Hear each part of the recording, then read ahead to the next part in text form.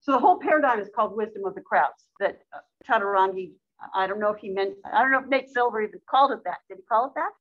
Wisdom of the crowds? No, no. Okay, well, he should have. So uh, You might want to share it. Who, who, who is presenting this? Oh, you are presenting. Yeah. So take the microphone here. what is it? Share your screen.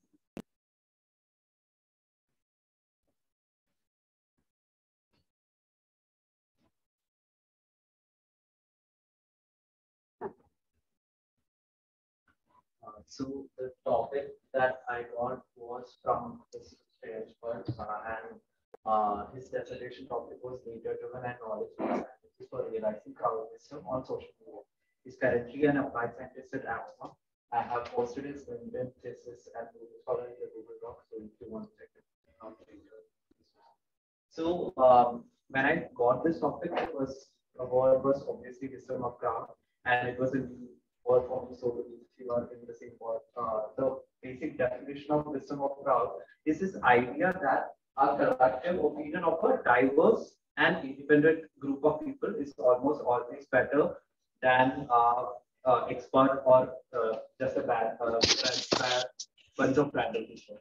So I uh, believe you understood that I stressed on the word diverse and independent, and these two are the core of his uh, research topic that he's trying to find the diversity in, and uh, trying to find what kind of diversity is put in a group of uh, cluster people so that he can get the best output uh, or the best results.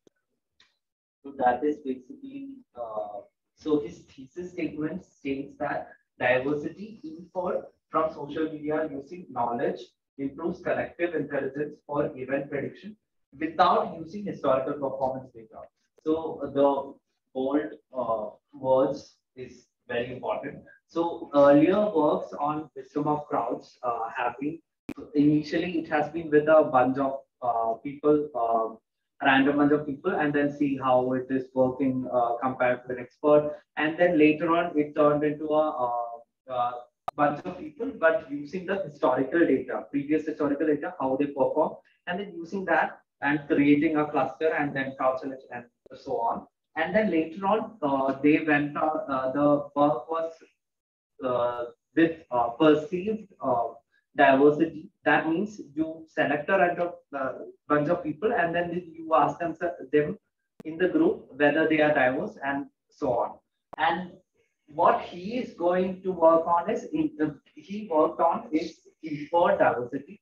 And uh, this is I think uh, one of the first work that has been done uh, based on social media on a very big uh, data set. So he used user base of around 3000 something uh, users and then based on that we try to create diversity uh, and cluster and then select the crowds based on that cluster. So he tried to answer three questions which uh, at the end of the his thesis. One is, it possible to infer diversity using virtual media data? And then what kind of diversity to accurate prediction? And then third one is, do such diversity measures allows for a wider So after the end of this dissertation, he answers all these three questions. So I'll just skip over the answers and then uh, we can So, uh, so as I said, at the core, the problem is diverse crowd selection. So how do we select these diverse people? To get the uh, you know optimal. So for that he had a bottom-up approach as well as top-down approach. So first bottom-up approach, content-based bottom-up approach, approach. So he had uh, content-based clustering as well as crowd selection. So in content-based clustering, he he he tried different methods. So the first method was content-based uh, clustering.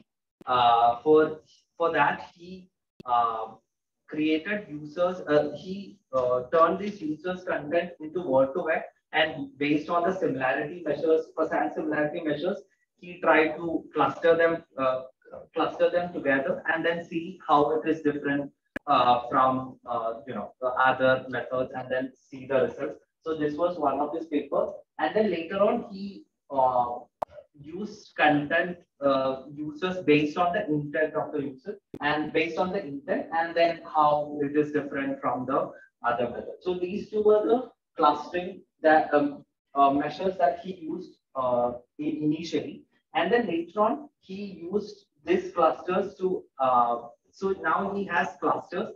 Now he has to select this. So he used uh, different methods like random and then pairwise, etc. So this this was his initial work on uh, his dissertation. So one of the interesting observations that was talked in his uh, dissertation talk also was does diversity differ with crowd size? So in his case, he uh, in and I guess in most cases, uh, smaller diverse crowd size perform better than large size. So in his case, even though he uh, selected, he had like 3000 something user base, his um, his uh, crowd size was only six, which I found very ironic because why is the crowd size very You small? said six, Yeah, just six, six. only six. Yeah. Well, no, we actually did, we, we explored crowd size. Yeah, uh, so On, on the we x-axis, explored- but you get a, an optimum at, at six. So he explored from zero to all the way up until, and then he. Couple hundred, I think. when- All the way up until, Huh? All the way up until what? uh, Oh, I don't know, a couple hundred, uh, Yeah. as- three hundred, maybe, I don't know. And six was the optimum? Six was, yeah, so it goes, it goes like this, which in terms of, you know, performance. Because as far as I understand, these six people then might be experts. So like, No, we checked for that. Yeah. That, that, we, that was not the explanation Yeah. for so this. We, That was. and, a- and, or oversampling from small crowds, we, we checked against all of that kind of problem. I don't remember what our explanation was. Charge us for that. I, I think we decided that larger crowds were introducing noise, but I would have to go back and look. I don't, I don't remember exactly, but I do know that we checked to make sure that we weren't confounding with expertise or anything like that. Yeah, I mean, I, I, I mean, I have a curious question I will ask later. Is there any correlation with Dunbar's numbers? in With what? Dunbar's number? Number of friends? Yes. Number of what? Will come later. Number of, Friends. oh, friends. Um, No, not only that, Dunbar's number says one fifty is the number that many, you know, kind of relationship human brain can actually handle. oh, So that's number. And the don't, uh, circle is ten, so that's yeah. probably the number is six. Anyway, we'll come. I. I don't recall us talking about that, but you know, it was kind of a while ago. Yeah. that, uh, he got six because his methods were, um, the- uh, uh, went towards six. So if you use something else, the crowd, crowd size might be different. That's what, For the same, as, for the same problem, if you change the method, uh, like the, uh, the way in his, in, in which he used the clustering and, uh, the crowd size, uh, and, uh, selection, then he might get a different case. That's what I remember him saying. It is not exactly six in every single case. That's what I. But it's not huge. There's no, there's not a benefit to Ah. increasing the crowd size is really the, the bottom line. And, uh, Dr. Sheth in his talk also um, mentioned that this is actually pretty good because uh, for a large price crowd size, it is very difficult to manage every uh, one and Mhm. have a collective opinion. So to have a small size with diverse and get a really good output is. We should say just a, a, a small word about the domain that we did this in. So we did this in fantasy football. Do you guys know what fantasy football is? That's where, do you know what fantasy football is? That's where you pick uh, members of your ideal team from across the league. And you look at how well your ideal team performed based on their individual performance in an upcoming match, okay? Now, what we particularly looked at was captain points scored um, because it was just too hard to assemble all the data. So you have the performance metric there.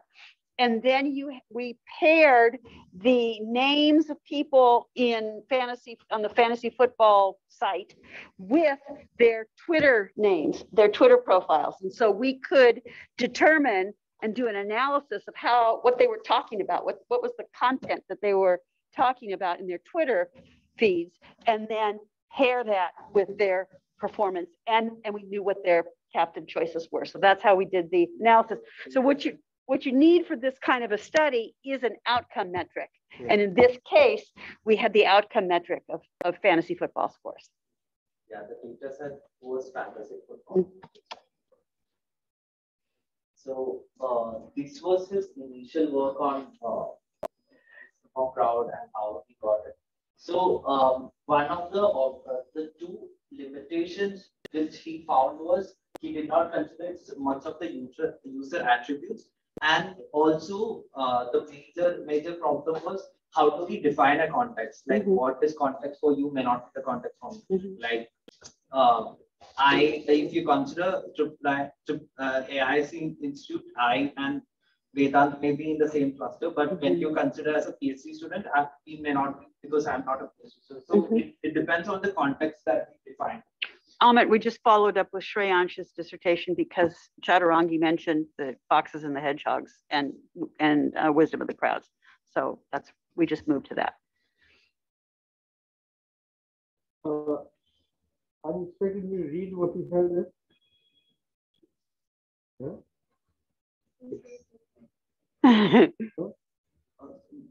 You, you expect me to be able to read what you have there? We need to increase the Oh.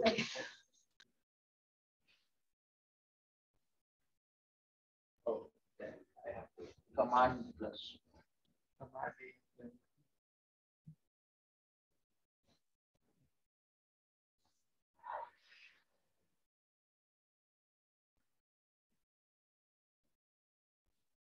A, then- No, that is left.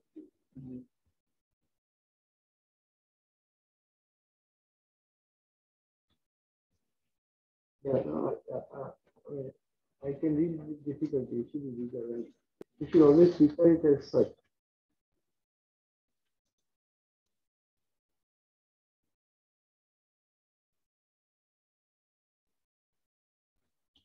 Okay, so this was his initial work, uh, and, uh, so this, this was the limitation that. So the limitations were user attributes and how we define context. So then he went on to have a top-down knowledge-based approach. So one Mhm. Uh, so one of the interesting observation uh, I found uh, in his dissertation was a group of nodes is interesting if the number of edges is higher than if the nodes were assigned at random. Which, so, that there will be a lot of contacts uh, between the group of nodes. So this for this he proposed this paper and this is So, one of so that, that that implies what? so there is a lot of similarities between the group of, uh, if, if there is a lot of edges between the nodes, then that means there is a lot of, uh, correlation, similarities between, that's why No, there is an edge. No, there are many choices. Uh, uh, is it talking about a lot of similarities, or is it talking about a lot of communication, or is it a lot of, uh, you know, uh, uh, and, and, and, you know, you know, is it uh, that, that they are working together? Is it, you know, what is it that, the simi- it's, a- there are different notions. So what is it that he is looking for? So is it a friend network or communication network? Uh, he, he, sorry, what? So basically you're talking about reciprocity. So is it a friend network or communication network? What it is? Is it a friend network communication? No, it's a content network. It's- It's content overlap, He's trying to find the optimal context. content, and- content similarity. Okay. So, And that is on Twitter, Facebook, or something else? uh, Twitter, the- Twitter. Hmm, it might have been, I don't remember in the community detection one if, if we used Reddit for something, I, but Twitter all Twitter, okay. Okay, so this is, I, I. No, see, the point is, is, is it a network of people who know each other, or is it a network of people who are, uh, uh, you know, communicating on, uh, They're not, com- they're, they don't know each other and they're not communicating. It's just content overlap. They're talking about the domain in the same way. That's the- I guess yeah, that's that, uh, so is, this was, this was the, the, the, um, example was, uh, what is it, uh, the, um, Fantasy football, uh, yeah, fantasy football, right. where you select, where you select, te- uh, uh, fantasy football. Yeah. Yeah, so, so, um, see, they were uh, talking about the same, uh, um, team in fantasy football. Yeah, well, same, same, and the same criteria. So the, the classic one that we explored in one of the papers, I don't know if it's one of the ones cited here, is whether or not people are talking about a choice of team captain because it's the obvious choice and everybody likes this guy, etc. And whatever terms you would use to express that idea versus I'm going with the non-obvious choice, the things that people aren't looking at, the person that people aren't looking at. So we, I don't remember what we called that, that, that distinction, but we assembled two different groups based on whether or not they were talking in one way or the other way using their language. And then we sampled from the clusters based on content similarity to get the diversity uh, finding that you're noticing there. So, uh, in the major crux of wisdom of crowd, and there was a book also, James Surowiecki. Mhm. Uh, so I, uh, when I read, so there set certain conditions for it to be wisdom of us to have a wisdom of crowd effect. Is one is diversity, which is the most important. And we have to have independence, so you cannot influence each other, and there was certain other conditions. So diversity and independence was which he uh, talked about. Let's not skip this last point because it's really important. You don't want to bury the lead. Uh, the knowledge graph and is the say knowledge graph enhanced community detection. So the idea is you can't compose these communities simply based on a common set of lexical terms. You have to have a knowledge graph that says there are three, four, five different ways for talking about popular choice. And there are three, four different ways about talking about the differential choice. So there was a knowledge graph component here that we used to enhance crowd um, separation. And that's what's in that last paper there that you'll see. So in his paper, so I'm just giving a summary of this paper. So in, in this paper, he started with the input graph, which is a domain specific hierarchical knowledge Right. graph and one of the most generic uh, optimal context. And then he computed the edge weight using context and direct measures like uh, he started with nodes and then recursively go up to the parent, find uh, the information content of that, and then using weighted Jaccard, he tried to find context similarities. and then he used this to, uh, and then he used community detection techniques like login community label detection to get the community. And then finally, he mapped it into the hierarchical knowledge graph to get the optimal community context. And then he repeated the same thing using uh, to get the edge weights and then get the loop the whole process until he gets the optimal results. So this is what. So he started with um, a, no, a, a hierarchical graph and uh, of context. that we reweight the edge edge weights accordingly, Mhm. and then he found a community, and then this co- and co- context, and then loop, uh, and then the same thing to get the edge weights, uh, and then finally he gets the optimal result. Yeah, now you do have to be careful. You can't, if, as you ascend in the abstraction, you could ascend infinitely, right? And so there has to be some sort of sweet spot where you get a nice separation of groups that gives you good results in terms of diversity without mushing everything together. And That's I guess, the whole optimality analysis. uh, uses uh, information content and impurity. Yeah. As we go down, the information content goes down, but as we go up, the purity goes down. So he has to find a balance between. Yeah. So it was a, um, a multi-objective decision and um, Pareto optimization, I think is what we, what he ended up using to solve that. Uh, I have a problem. question, Renjith.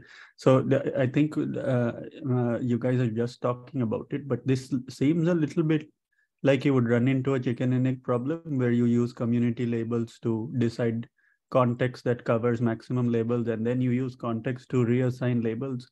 It seems like you're iteratively optimizing between community label Mhm. and uh, community context and using the information in each other. Is that right? Yes. So. that- Before that's- Renjith, it's before a- Renjith answer to this, just an addition. So people working on community detection more than three, four decades, people call it ill-defined problem. Because the definition of community is never defined. In this case, it's, a- it's a community of topic. some case community of you know people, some case community of colleagues, some say community of race.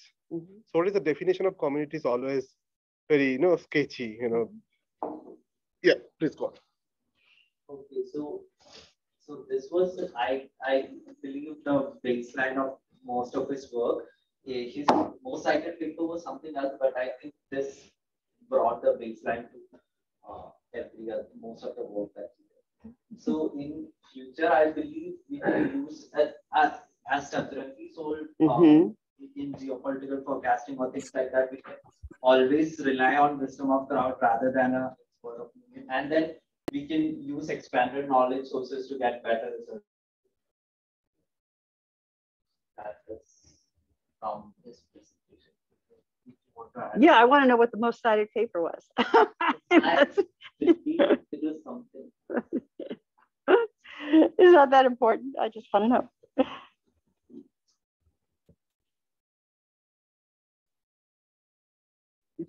I can't read it. by sequence and supply. Oh, oh, that's a totally different Yeah. thing. Yeah, It Seems like uh, It's work, like the work which was done by Shreyansh is kind of uh, an improvement and taking forward the work done by. No, we, There was, it was, it, the, the issues were really quite different.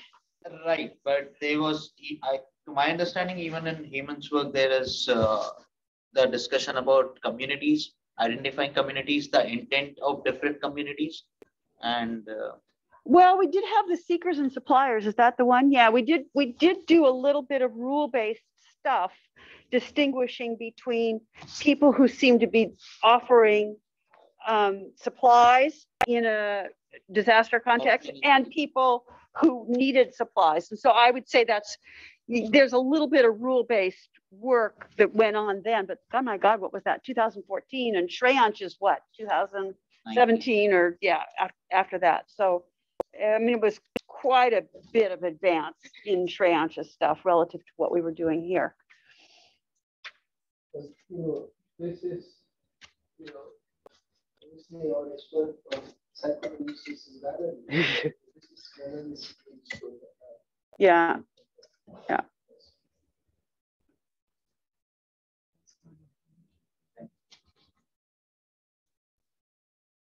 That is an important, you know. yeah, CSCW, that was a really good hit. Uh, Savannah presenting? I don't know, is, I don't know what we're doing next. Is Savannah presenting? I can present. One second, I'll just stop recording and then start. She's presenting, then it's fine. Hmm?